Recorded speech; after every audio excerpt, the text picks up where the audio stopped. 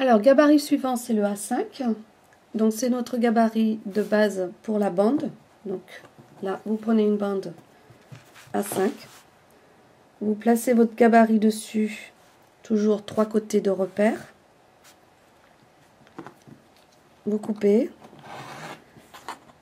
Ensuite, moi, ce que je fais, c'est je coupe dans la foulée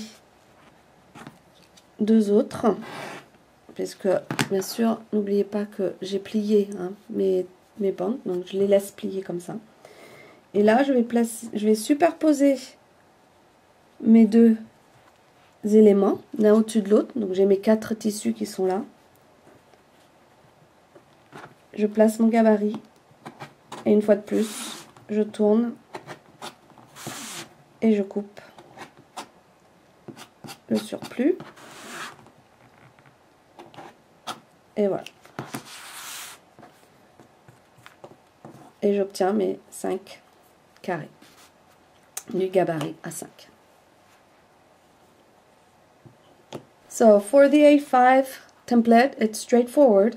You have your strip, which is an A5 size strip. Okay, just place your square on it, cut, cut a second one, pile them up one on top of the other, and then just cut the little sides all together. Quick and easy to do. Gabarit suivant, c'est le A6. D'accord Le petit triangle. Donc, la bande qu'il va me falloir utiliser, c'est une des bandes euh, de la taille du carré A5 ou C19 selon le gabarit, mais bon, c'est le carré A5 de référence. Je place, comme pour euh, le grand triangle que j'ai fait, le A2, vous faites la même chose. Vous placez votre à 6 comme ceci. Vous coupez. Ensuite, moi, je retourne ma pièce et je la superpose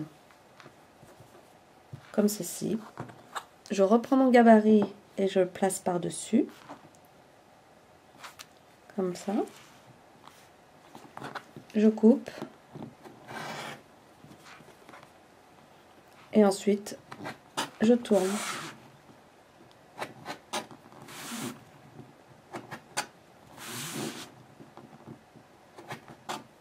Et voilà. Et j'obtiens donc euh, mes pièces. Et comme je dis, je coupe pas plus que 4 à la fois. Et ensuite, je reprends et je continue comme ça. Je reprends mon, ma bande et je recoupe à nouveau deux par deux, deux. Comme mon tissu est plié en deux, ça fait 4 et ainsi de suite. Okay, so to cut the A6 template, you will need your reference size A5 reference size um, strip. Take your template, put it on the edge. You have one, two, three edges that you work with to center it. Cut diagonally, and then what I do is I take the piece I just cut, I place it on top of the edge here. I take my template, I place it back. I still have one, two, three reference points to make it sure that it's aligned. I cut here, I take this away, and then I just slide my cutting pad around just to take all those little pieces off. And that's it. And that's how I quickly prepare my A6 template. Little triangles. And that's it. Alors, le gabarit suivant, c'est le A7. Donc, cette pièce-là.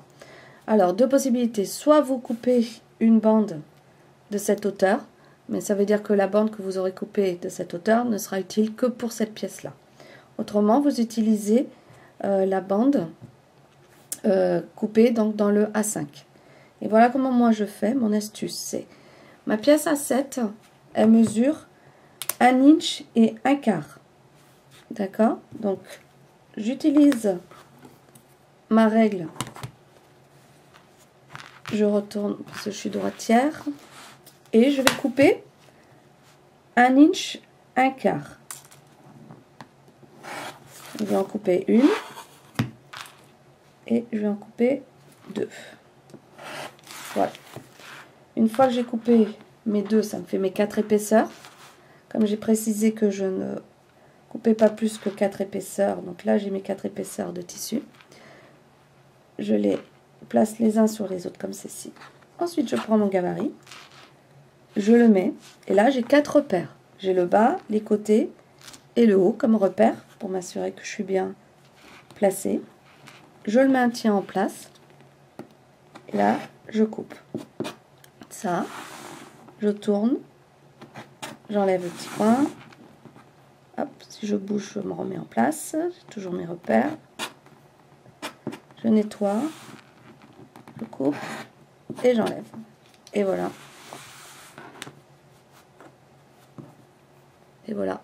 Et mon A7 est prêt. Okay, so to use my A7 template, I uh, you have two possibilities. First one is you cut a strip the size, the height of the A7, but if you cut a strip for this piece, this is the only piece you'll be able to cut in that strip. Or otherwise, you just take your A5 strip, A5 reference to the fact that that strip is the height of the A5. And my, my piece here is one inch and a quarter. So I take my ruler and I just simply cut one inch and one quarter. And I cut two times because then I will have my I will have four pieces of fabric and four is fine. Beyond four, I wouldn't recommend it, but four, you can easily cut four pieces. So up, I put them on top of each other. I take my template. Here now I have one, two, three, and four sides that I can work with and place it. And then I just hold it down and I just cut around. Turn and cut and if it moves a little bit, just put it back into place, cut, enter. And there you go. And that's how I cut my A7 template.